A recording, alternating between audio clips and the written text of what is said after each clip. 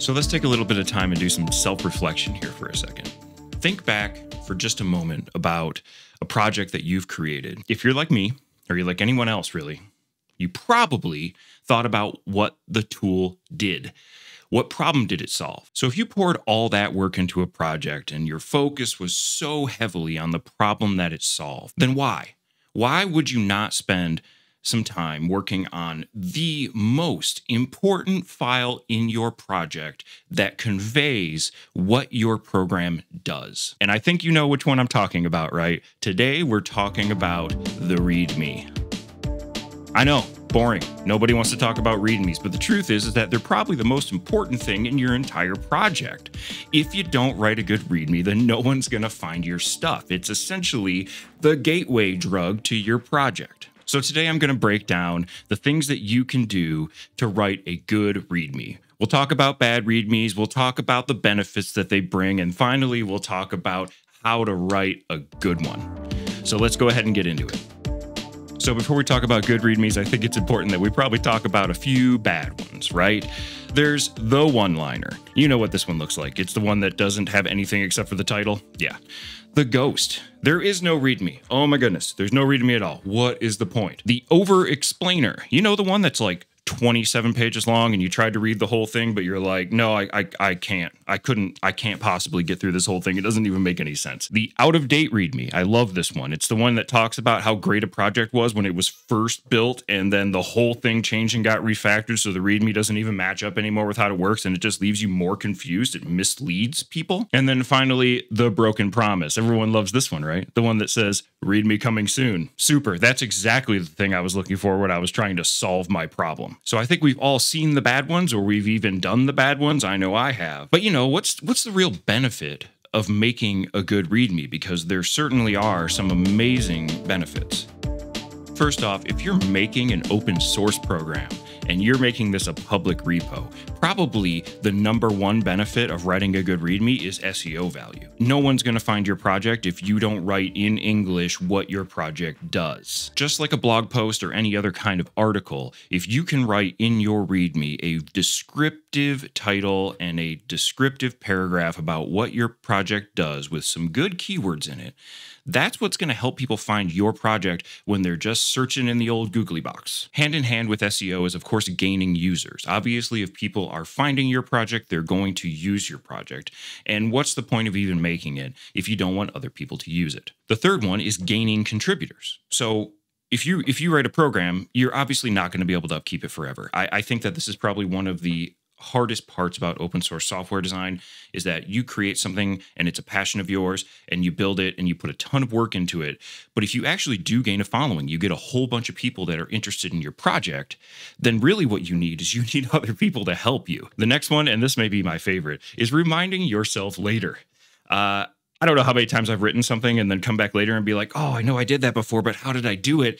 Uh, the README is a great spot for that. Think of it as like a little helpful note to yourself. Last but certainly not least, the final benefit of writing a good README is reducing reported issues. Uh, no one, no one, I don't know anyone that likes to hear about a problem that's in their code that they already know about. I mean, if there's anything that drives me crazy, it's someone explaining to me a problem that I already know exists. So fix that problem, right? So put it in the README, hey, I already know this is a problem. I'm going to work on it later. Problem solved. All right, so now finally, what you actually came here for.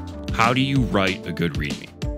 I personally think that it's a it's a pretty simple eight piece outline that you can put together for any good README, and I'm going to go ahead and break them down now piece by piece. The first one is a strong H1 and H2 title and subtitle tag. Just start those right at the top. You probably would just want to have the name of your project and a very short one liner about what it does. Second, you're going to go ahead and put in an intro paragraph. The intro paragraph is a little deeper dive. This is where you can really get some SEO value. So try to build keywords in about what it is that you want people searching for when they find your. It is going to be the best place for you to not just one explain what the project does, but two embed some words that people are searching for so they can find the product that solves their problem. Number three, this is where you can get a little more technical. Um, and I think what you'll find is the deeper we go down this list, the more technical they become. But number three is about a diagram or a video or something that just explains a little bit better. If you can make a really good diagram, this is an excellent spot to put it in the third spot in the README. It'll give the user a little more explanation, a visual of how your project works or hey if you got a youtube video with like a with like a demo of how it works that's even better all right so next parts four and five i'm going to go over together because they're essentially the same but for different audiences number four is installation instructions for the user when i say for the user i mean someone that's maybe even not a coder if you've made a project that is for end users to download and install and use. This is where you probably want to put the instructions, right? It might be as simple as you install this with Homebrew, or you install this with the following command and then run the following commands to use the tool, or double click on it and open it and use the tool that way, right? It all depends on how your project's built, but this is where you need to put instructions for the end user so they can know how to use your project. The next set of installation instructions is more geared towards the contributor, right? If you want to write code and you want people to help you with the code, then what you should be doing is giving instructions that explain how to build and install the application locally, but also how to work on it. This, these instructions are usually different than the ones that you would give to an end user that just want to use the tool.